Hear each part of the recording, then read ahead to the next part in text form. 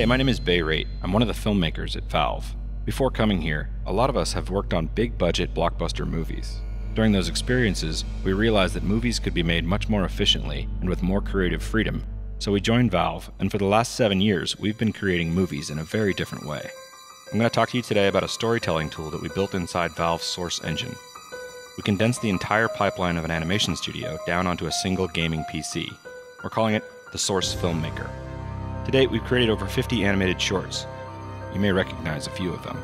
These have actually served a dual purpose for us. The first is to be the marketing materials for our various games, and the second has actually been to be the technology test for the Source Filmmaker. For a while now, it's clear that gamers like to do more than just play games. We all like to watch movies, and we like to participate in the worlds that we spend so much time in. We built the Source Filmmaker so that we could efficiently share our creative efforts across all aspects of the entertainment experience.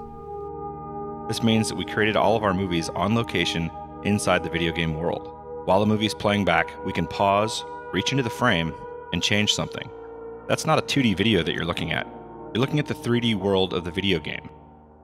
This allows us to combine the arts of cinematography, film editing, and animation so that we can make late project story changes. We can blade a shot, frame the camera, and change the meaning of a scene immediately. Did anyone happen to kill a red spy on the way here? No? Then we still have a problem. So let's take a deeper look at the character animation tools inside the SFM. You can capture motion, you can insert clip motion, or you can animate new motion from scratch. No matter how the motion was created, you can use powerful motion editors to modify any of it.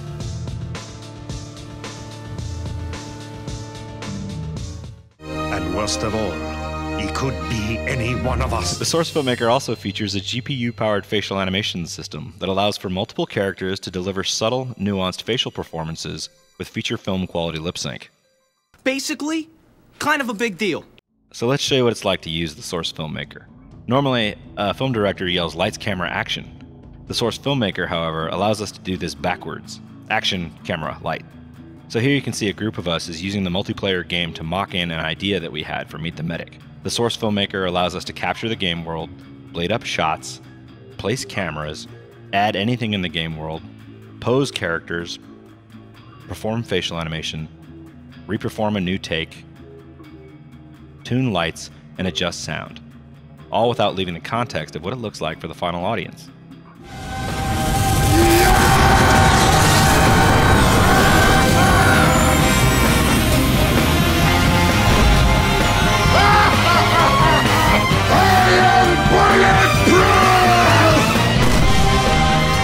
All this means that you can think of these video game worlds as massive backlots for creative exploration. As contributors to the Steam Workshop continue to expand these worlds, the resources for storytellers are going to increase exponentially. With the Source Filmmaker, you can animate, create posters, and make movies, all by repurposing the video game world into a virtual movie studio. Today, we're pleased to announce that we're starting the beta of the Source Filmmaker so that you can start making your own animated movies. We're also going to be including the working session of Meet the Heavy so that you can reshoot reanimate, and re edit it to make it your own. You can learn more at sourcefilmmaker.com.